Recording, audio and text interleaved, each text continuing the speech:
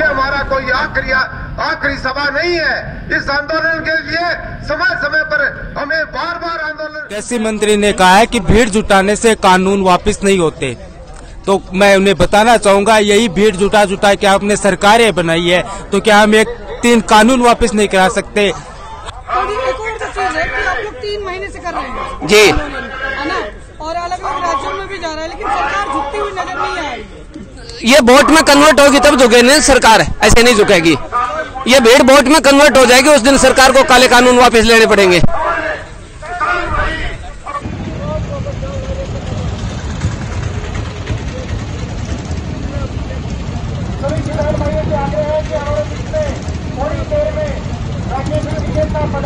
राजस्थान में चूरू डिस्ट्रिक्ट है, ये यहाँ पर गर्मियों में सबसे ज़्यादा गर्मी है, यहाँ पर सब किसानी पर आधारित है टोटल किसानी पर आधारित है। टोटल ये जो बीजेपी सरकार है, जो भी ये सोच रही है ना, उनके जुमलेबाजी में अब कोई नहीं आने वाला सब समझते हैं। आजकल सोशल मीडिया का जमाना है, उन्होंने मेन मीडिया को तो हाई कर लिया पर सोशल मीडिया उसी उसी के हिसाब से आंदोलन है, बढ़िया तरीके से, कोई दिक्कत नहीं है। न्यूज़ प्रत्येक गाँव में है, प्रत्येक किसान के पास ये न्यूज़ है।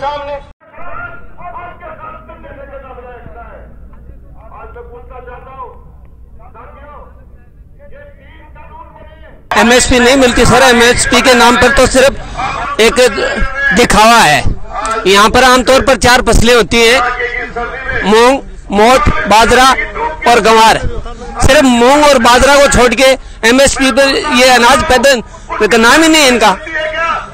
मूंग अगर लेते हैं एमएसपी के नाम पर तो इसका दाना काला है, इसका दाना छोटा है, ये पूरा पका नहीं हुआ है झाड़ लगा देते हैं, जिसमें से 50 परसेंट जिसमें से 50 परसेंट मूंग भी वज़न में नहीं आता है। इसी तरह से बाजरा है। बाजरे को भी मैं एमएसपी पर नहीं लेते हैं। न कहीं कांटा लगता है न कुछ और है। सिर्फ़ दिखावा है और कुछ नहीं है।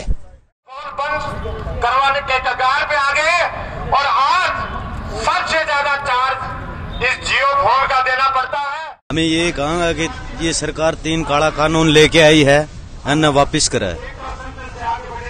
और स्वामीनाथन आयोग की रिपोर्ट को लागू करे और एमएसपी पर गारंटी कानून बनाए। जब किसान गेहूँ पैदा करता है तो इक्कीस सौ रुपया खर्चा लगता है उसका और सत्रह सौ रुपये में मजबूरी में उसको बेचना पड़ता है। सरकारी रेट पर उसको कोई खरीदने वाला नहीं है।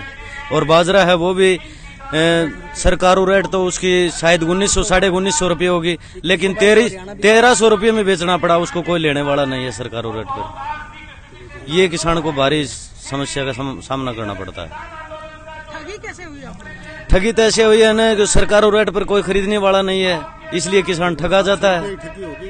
वो दे तो कहाँ देगा और बाहर देगा तो इसी रेट पर ले, लेंगे।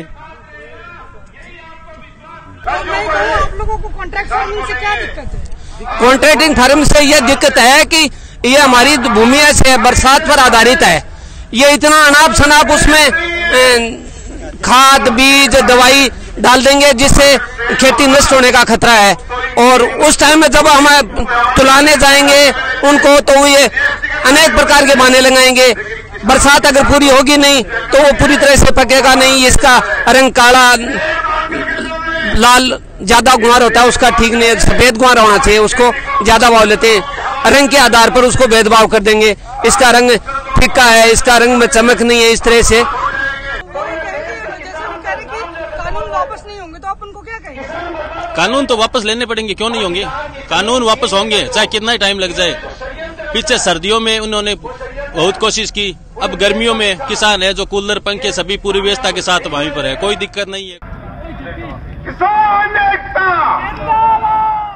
कि क्या हम सारे सादापुर और गाजीपुर कर चलने के लिए तैयार हैं या नहीं है? तैयार है या नहीं? है